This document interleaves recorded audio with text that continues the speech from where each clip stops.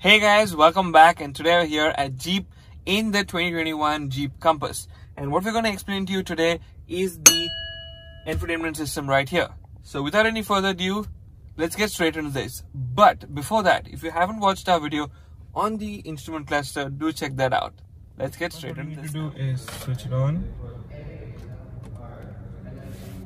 You have a nice Jeep logo in front saying since 1941. So now getting straight to the screen right in front of us, you have a huge tablet-like display over here.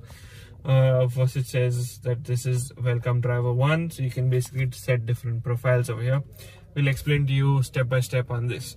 So this is basically your home menu. So what you can see is your fm you have your phone connectivity right here on this side.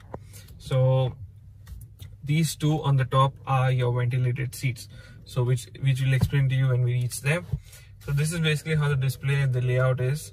So what we'll do is we'll go here so fm so what we can do is we can change this into different. So if you want bluetooth you have a bluetooth menu your display here or the radio in am or the usb so whatever you're using basically will get displayed right here. So on this side you have your phone. So basically when you connect your phone to bluetooth all your contacts and stuff will get uh, displayed right here. You can see some stuff here. So what we'll do is we'll connect a phone to bluetooth. So i have a android phone with me right here. And let's connect this phone to bluetooth now.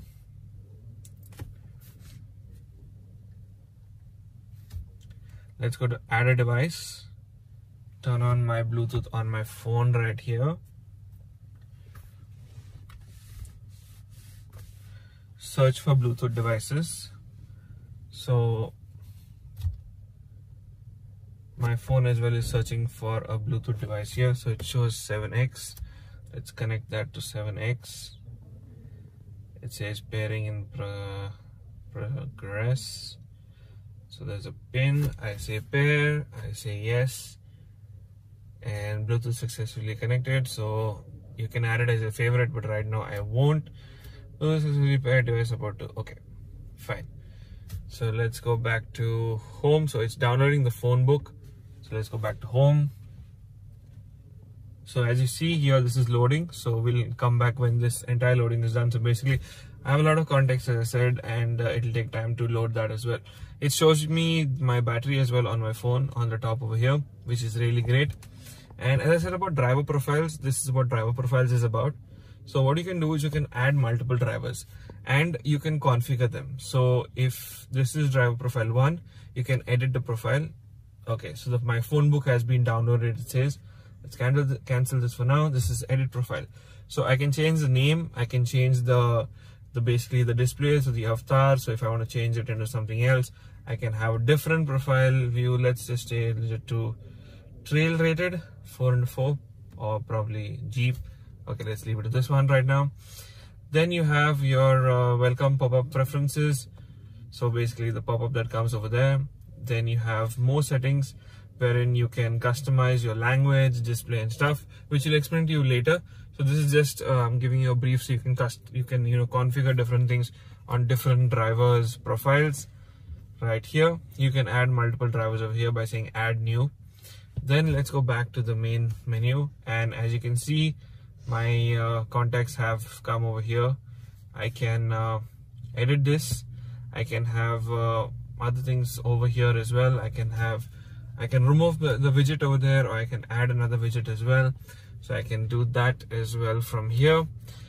Then let's go to the second screen right here. This is basically the climatronic so the ac so now i switch it on from here. And as you can see i can literally change the blower speed from my screen right here or I can even switch it off or keep it on auto. Now this being a Climatronic AC, I can adjust the driver's temperature from here as well as the passenger from this side. So two different ones for separate. Um, then what I have is I can even select it to to which vent or which uh, the way I want the air to flow. So I can select different ways right here on the screen itself. And if I want to sync both the left and the right so basically the driver and the passenger I have a sync button as well. So both the temperatures will increase and decrease accordingly. So that's really nice. So then let us go to seats. Now the seats in the Jeep Compass are ventilated. So I can literally like control the seat temperature as well so what you need to do is you have the right so the driver's one is on this side and the passenger on this side. So we select it. I can change my temperature. So both have ventilated seats so I can change my seat temperature as well over here which is really great and really helpful. Then let's go back to the front uh, then you have your rear defogger, front defogger that can be controlled from the screen right here. There are also physical buttons at the bottom, but this is what you can do on the screen. Then let's go to the next menu that is the media. So right now as my phone is connected, this is your FM basically right here. So as my phone is connected to Bluetooth, I also have my phone right here. So now let's um, show you how to change your radio station. So as you can see, this is 91.9 so let us go to the okay let's go to say fm this is all ams okay let's say we want to change this one now. You want to change it. You have an option wherein you can press this and it will auto search for you a station right right now. Or if you want to manually select it there's something called as tune wherein you can literally type it out. So I want to have 91.9 and go. As you can see the radio station has been set. Now if you want to save it what you need to do is you need to hold to save the station. So you need to hold on whichever is empty and there as you can see it has been successfully set. Then uh, what you have is your source. So source is basically as I said this is FM your Bluetooth USB and radio AM so if I go to Bluetooth, I have my option of playing something from my phone. So let's just quickly pay, play something and show you how the audio is. So let's search for a song. Let's search for one song. I want to search one song on YouTube itself. And let's just play it. Let's play the song. I increase the volume. So yeah. Let's switch it off before we get a copyright strike for the song as well. So this is basically your media so you can play whatever song you want over here. And uh, then you connect your phone to if you have a USB you can connect a USB as well over here at the bottom and you can play a USB as well. Uh, this is basically if you have um, put an SD card inside you can basically browse through the playlist to the folders that are on your phone as well as the USB and then in audio is basically you can eh, your audio settings. So your balance fader your equalizer you can you know increase decrease it by doing this. Speed adjusted volume so basically you can as soon as you increase your speed the volume will automatically increase or decrease. You can set it into three levels or you want it off you can do that as well surround sound you can switch this on or off. So you have loads of settings that you can control to make the audio quality best preferred to your mood preferences. That's great. Then let's head to the next menu which is right here. This is basically my phone. So as i said this is connected to my phone right now so it'll be shown over here. Then let us go to vehicle so here is basically all the settings of the the vehicle right now. So i also have a 360 degree camera. So if i want to view that i either put my gear selector into reverse or i select see it like this. And what i can do here is i can view different views. So right now it's showing me the rear. I want a wider view. I can do that as well. I want the front view. I can see that as well. I want a front not so wide view. I can do that as well and this is basically the rear view again. So let's exit from this. And this is basically my 360 degree view over here which is really great and helps well in parking as well. Let's go back. This is if you only want your rear camera to be on. And if you want to switch off the screen you can do it here. Or there's a button right here at the bottom as well. So now let's go to settings. So this is basically the profiles. So as you said profiles you can select your preferences as well. So first is language. You can select it into multiple different languages. You have loads of options over here. So right now it's in english. And then you have your display mode. So you have an auto or manual. So you can select it into auto or manual whichever way you want it. Then you have your display brightness. When your headlights are on and off. So basically when your headlamps are on what will happen is the the display on the screen will reduce so that is basically it, it knows that you are you, it's it's night and it has to reduce. So when your headlamps are on the brightness on the screen automatically reduces which is great. Then you have your display brightness. So you can basically reduce your display or increase your display accordingly. Then you have themes. So you have different options. You have a default one and you have a vk default one. So you have another theme as well. So you can select there are two options of themes that you have but i prefer the first one actually. Then you have units. So units are basically your uh, distance. You can have it in kilometers or miles. You have fuel consumption. So you can have it in kilometers per liter or you can have it uh, a liter per 100 kilometers or miles per gallon etc depending. So then we have your tire pressure. So you can have it into psi bar and stuff like that depending on your preference. Then you have a temperature that can be had into degrees celsius or fahrenheit whichever you prefer. Then let's go back. After units you have your touch beep so you can have it off or on depending. Then uh, you have some other options your phone. So you can have your phone pop-ups come on the cluster if you require. So if any messages come will get displayed there. Time format can be 12 hours or 24 hours. Pm am you can set your timing as well radio display off uh, you can have it you can delay it by 20 minutes or in zero minutes. Audio let's go to audio so audio is basically your equalizer bass and stuff like that which i already explained to you. Then let's go to the lower one. You have your uh, app pop-ups as well your favorites popping up or uh, stuff like that. Missed call messages you can have it displayed or not. And then you can reset the whole thing next let's go to yeah.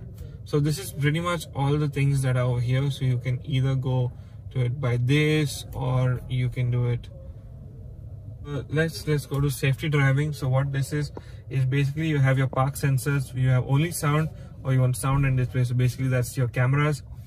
And then your rear parking sensor volume you can have it on low high or mid whichever you prefer. Then let's go to clock. So here you can adjust your time. So basically what i just told you 12 hours or 24 hour clock whichever you want.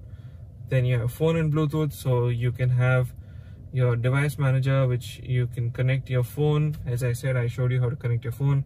So this is basically your phone. You can connect your phone to bluetooth and stuff like that. You can have your do not disturb or you have a pop-up displayed on the cluster that you can select it or deselect it as well then let's go to camera. Camera is basically a surround view so you have guidelines as well for reversing. So you can switch it on and off depending. It's best to keep it on. Mirrors and wipers is basically you can have your uh, mirrors side mirrors to auto fold as well as rain sensing wipers. You can switch it on and off. It's best to leave it on. Then you have lights. So lights is basically your interior ambient lighting. You can change the brightness and stuff from here. If you want let's keep it on 7 right now headlight sensitivity so basically when it becomes dark you it will automatically come on so you can change the sensitivity as well. Right now it's on 3 so it's the highest setting. Headlight off uh, delay so basically you can set set that as well. So when you so you can set that to different seconds so it's right now on zero. So when you lock the car you can have the lights off or uh, leave it on. So when you leave the car you can lock the car and it remain on for 30 seconds 60 seconds or 90 seconds depending. Then greeting light is basically when you come to your car you unlock the car you have the lights come on as well which is another good thing. You have cornering functions you can switch it on and off. And um, then you have brakes. Brakes is your auto parking brake. You can switch it on or off. So basically this has auto parking. So when you automatically park you can it'll auto brake as well for you which is a really good thing. Then you have doors and locks. So you have all auto door locks for all. You have auto door locks on exit on exit as well. You can do that.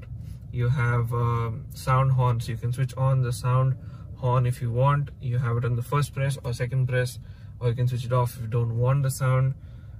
Then you have um, your uh, other stuff as well that you can control with your key.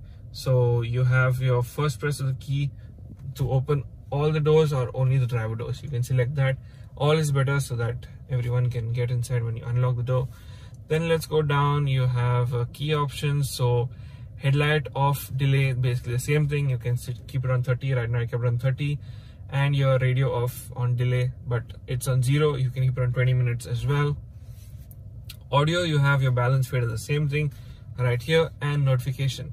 So this is basically your app so now this one has an wireless android auto and apple carplay which is really great. Okay before that let's go back. Let's go to this menu where apps. So you have wireless android auto and apple carplay.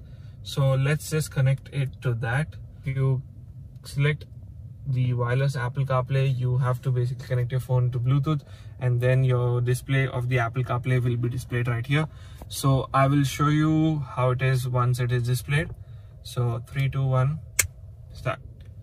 So here we have the wireless Apple CarPlay as well right here. So you have your phone, you have your maps you can use over here. You have a lot of loads of stuff. You can have your WhatsApp messages as well read to you so this is a really handy feature because if you don't carry a wire with you, this is the best way you can wirelessly connect your phone to Apple CarPlay and according to me it's a really great feature and uh, you have your maps as well over here. So this is pretty much what is there on the infotainment system. And with that guys, we wrap up today's video. Hope you enjoyed the informative in-depth video that we did on the infotainment system of the Jeep Compass. Now if you haven't watched our previous videos, our previous tutorial videos on other cars as well, like the Audi A4, the Q2, the Toyota Glanza, Urban Cruiser, etc. Do check those out as well.